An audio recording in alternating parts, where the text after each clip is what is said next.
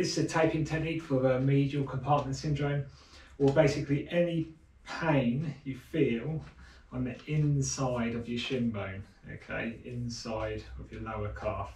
This will help with that. Uh, we're using two strips of tape. To measure it, I just uh, lifted the foot and then measured from the medial arch to just below the knee and cut that strip off there. And then I measured that in half and then cut a further strip.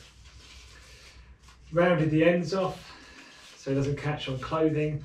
And on my second shorter strip, I've cut straight down the middle, left about an inch at the end, and then rounded off the two legs.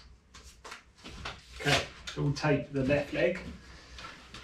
So the position of the leg, what I like to do, just so whether your taping doesn't have to do anything,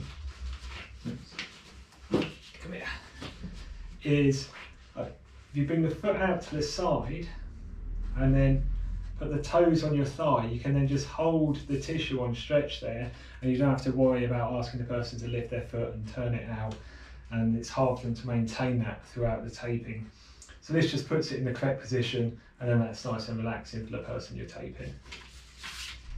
I'm going to take my first strip, rip off about an inch, remove the backing, I'm going to place this just inside, just on the side of the medial arch of the foot, just like so, and lay it down with no stretch at all. I'm looking to come up through the ankle bone, the inside ankle bone, and then up. So I'm kind of hugging the bone and the tissue to the side. So there's the edge of the shin. I just want to kind of hug that area. So if I secure the tape, give it a pull, the backing comes off, I can then remove it so I've got about an inch at the end to hold on to. The stretch here is coming from the tissue, so I'm going to lay this down with little to no stretch at all.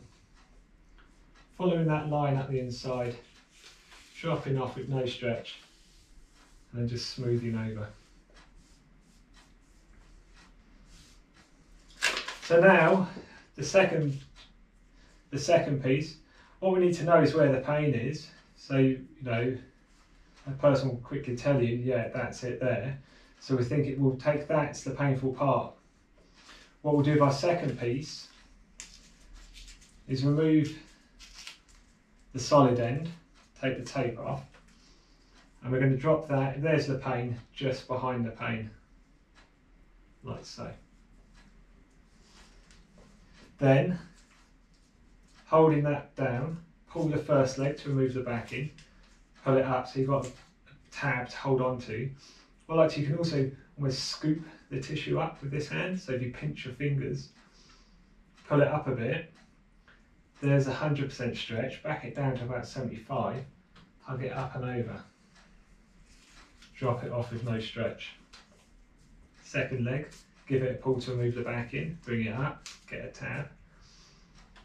Just scooch the tissue up. Scooch, that word? I don't know. 100%, 75. And then bring it over, bring it over and then drop it off with no stretch at the end.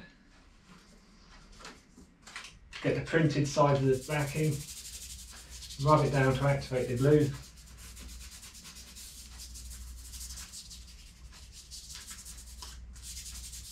And there you go.